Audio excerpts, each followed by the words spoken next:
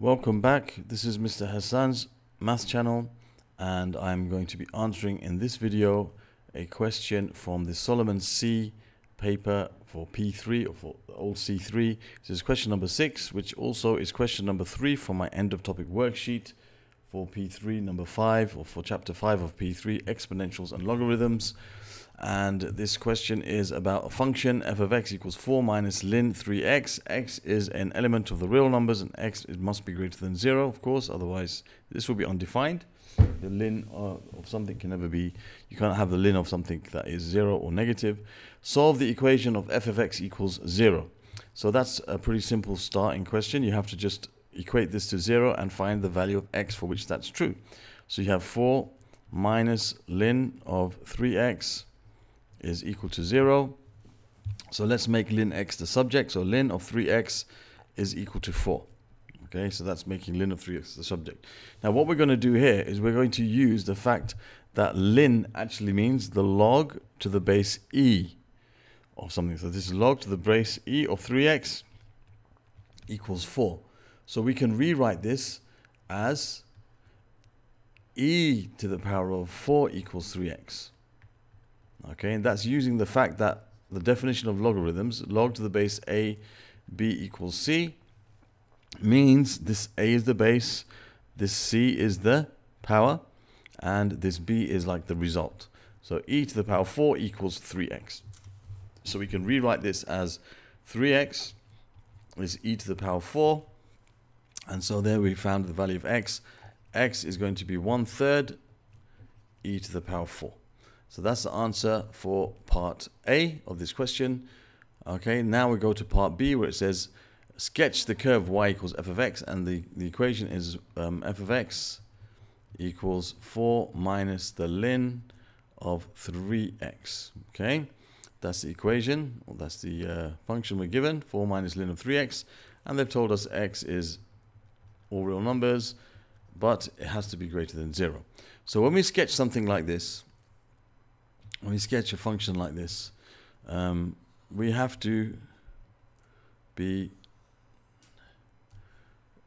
kind of think a bit clearly. So basically think about, let's say we have a function, let's call it some function like g of x.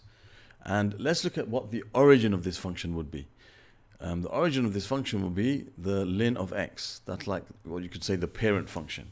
And all these certain transformations have been applied to this which ended, ended up giving us 4 minus ln 3x. So we can think about um, dealing with that transformation. First of all, let's think about what y equals ln x looks like. Now, y equals ln x is the inverse of e to the power of x. e to the power of x is like an exponential curve going through 0, 1. So ln x is going to go through 1, 0. And it's going to have a shape like this. Okay, it can never go on the negative side, never never touch 0, x, uh, x equals 0. Okay, so that's how y equals ln x looks. So this is y equals the ln of x. Okay, now the first thing that's happened to this is um, you got 4 minus ln 3x. You always start with transformations with what's inside the function, which is this part here. So it's like the x has been replaced by 3x. It's like you've got now g3x, which will give you the ln of 3x. So that's the next step in the transformation.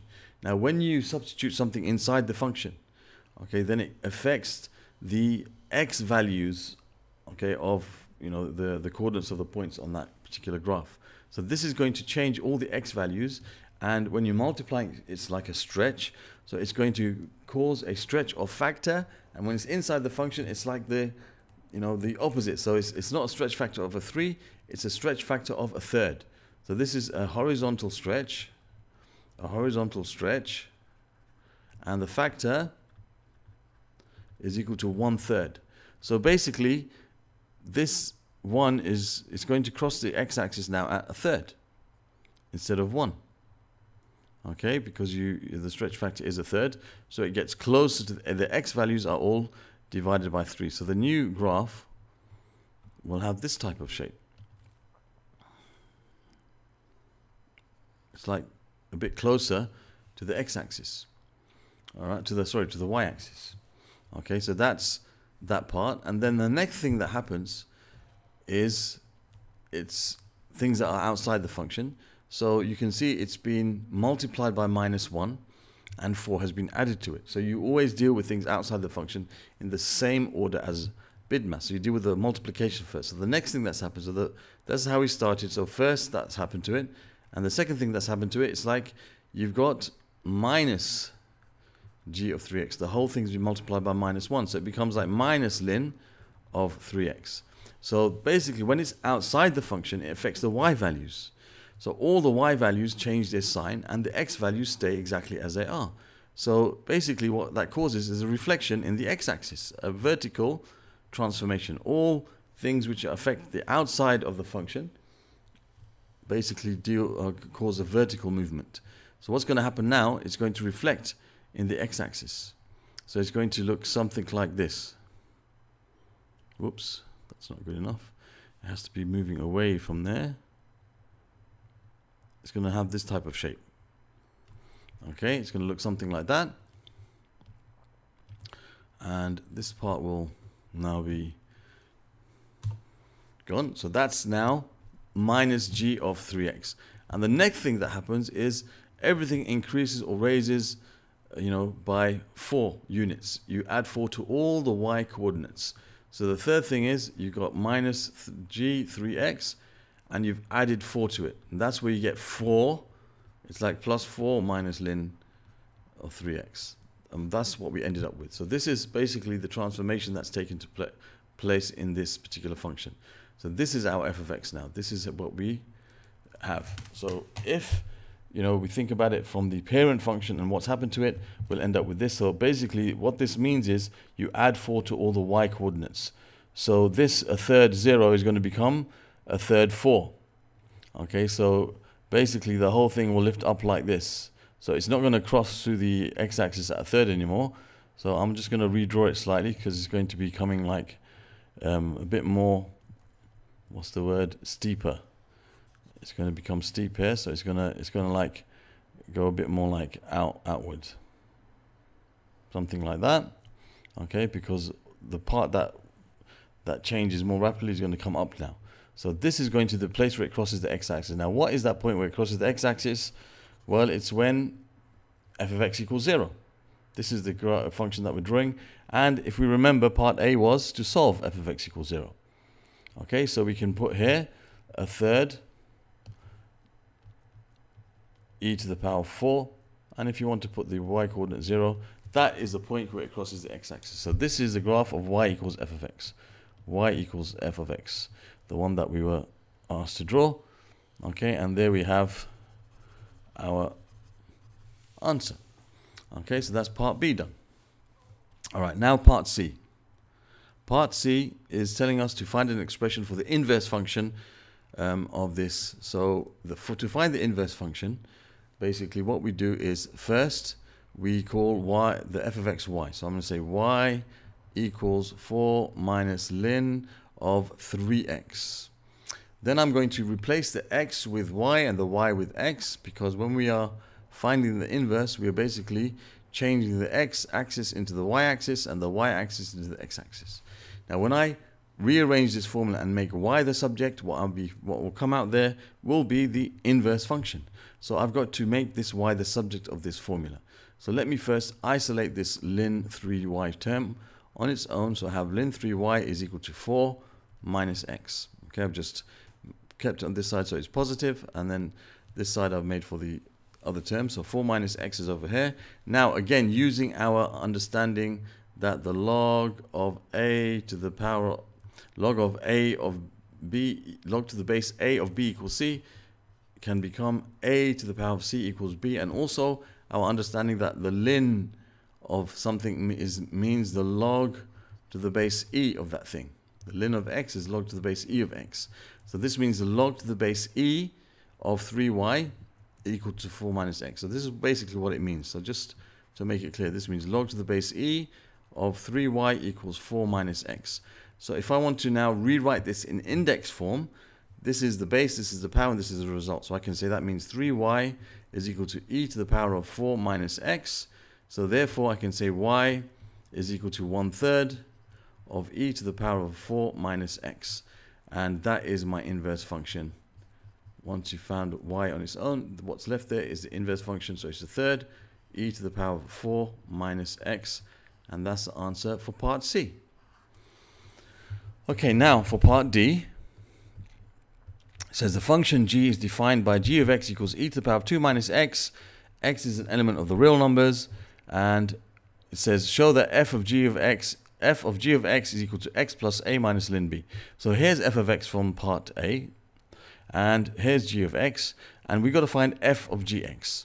Now, f of gx is basically the composite function where you replace the the x in the function f by what g is. So basically I've got to find this what this means what this means is f of gx. It means substitute g of x into the function f. So substitute this in place of this x. That's what it means. Okay? Just as if I had said find f2 it would mean replace this x with 2 that, that would be 4 minus ln 6 so f g of x means replace the x in the function f with whatever g of x is equal to. So that's what it's telling us to do. So basically f g of x is the same thing as substituting the whole of the function g of x into the function f.